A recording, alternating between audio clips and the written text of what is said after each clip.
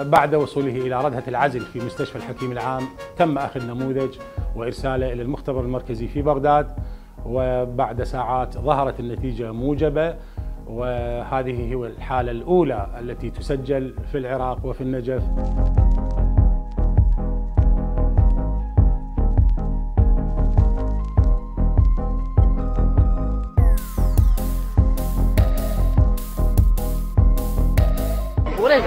What is that? That?